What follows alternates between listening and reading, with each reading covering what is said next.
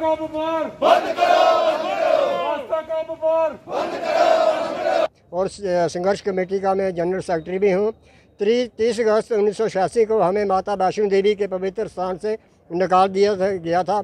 आज चौंतीस साल और एक महीना आठ दिन हुए हैं। हमारा चौंतीस साल से ये जो आंदोलन है संघर्ष है जारी है। जब तक हमारा फैसला नहीं होगा तो, तब तक हमारा आंदोलन जारी रहेगा। अठाई नवंबर 2014 को प्रधानमंत्री नरेंद्र मोदी जी ने उधमपुर में एक बड़ी रैली में खिताब करते हुए कहा था कि बारीदारों के साथ जुल्म हुआ है। मैं इनको इंसाफ दिलाऊँगा और बारीदारों को इधर उधर भटकना नहीं पड़ेगा। मैं बारीदारों के लिए परमानेंट हल निकालूँगा। लेकिन आज वो भी छः साल होने वाले हैं। अभी तक प्रधानमंत्री ने जो हमारे साथ वायदा किया था छः साल होने वाले हैं। अभी तक वो वायदा भी पूरा नहीं किया है। जब तक हमारा ये हकूक़ वापस नहीं होगा, तब तक हमारी लड़ाई जारी रहेगी। अब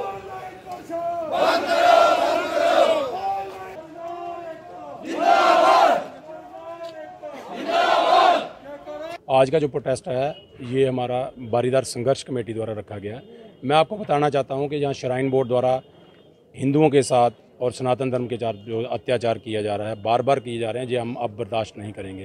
क्योंकि मैं आपको विस्तार में बताना चाहता हूँ कि श्राइन बोर्ड द्वारा पहले तो माता का ट्रेडिशनल ट्रैक बंद कर दिया गया, जैसे भूमिका मंदिर को खत्म कर दिया, दर्शन ड्योडी को खत्म कर दिया, बाणगंगा को खत्म कर दिया चरणबादका को या हाथीमता को खत्म कर दिया, एक नया ट्रैक निकाल के श्राइन बोर्ड द्वारा एक बिज़नेस एंगल से इसको चलाया जा रहा है।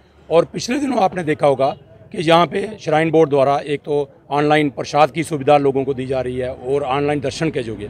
इसके लिए अब हम बर्दाश्त करने लायक नहीं था क्योंकि हमारी आस्था के साथ खिलवाड़ होता जा रहा है। मैं आपको बताना चाहता हूँ कि श्राइन बोर्ड द्वारा ये जो जहाँ पे आप देख सकते हो जो फ़ोटो में आपको दिखाना चाहता हूँ, जहाँ पे ये माता की पिंडियों के पीछे जो फ़ोटो पड़ी हुई है, ये सारी फ़ोटो जो थी बाकायदा आस्था जो तो ये जो मूर्तियाँ जो वहाँ पे बेशकीमती और राजे महाराजाओं के टाइम से वहाँ पे थी, ये बिल्कुल हिंदू आस्था के हिसाब से, हमारे सनातन धर्म के हिसाब से वहाँ पे पूजन करके वहाँ पे रखी गई थी, लेकिन श्राइन बोर्ड द्वारा ये मूर्तियाँ गायब की गई हैं। मैं आज का प्रोटेस्ट का मेन मकसद ये था कि ये हिंदू आस्था के साथ जो खिलवाड़ है और मूर्तियों की चोरी की जो है सीबीआई द्वारा इंक्वायरी की जानी चाहिए। क्योंकि जहाँ पे जो श्राइन बोर्ड के चेयरमैन हैं, वो एलजी साहब हैं और एलजी साहब जो हैं, वो श्राइन बोर्ड के चेयरमैन भी हैं और स्टेट के हेड भी हैं। इसलिए हमें नहीं उम्मीद कि ये फेयर इंक्वायरी होगी। मैं ये कहना चाहता हूँ कि ये बेशकीमती मूर्तियाँ जिनमें डायमंड हीरे, ज्वारात लगे हुए थे, ये अरबों रुपये की मूर्तियाँ ये कहाँ पर हैं, ये मैं आपके माध्यम से कहना चाहता हूँ कि सरकार इंक्वायरी करे और ये सच हिंदुओं के सामने आना चाहिए।